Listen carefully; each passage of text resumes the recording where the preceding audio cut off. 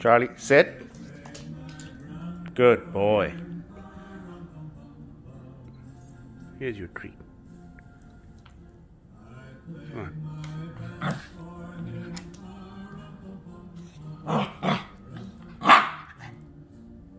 You don't want it?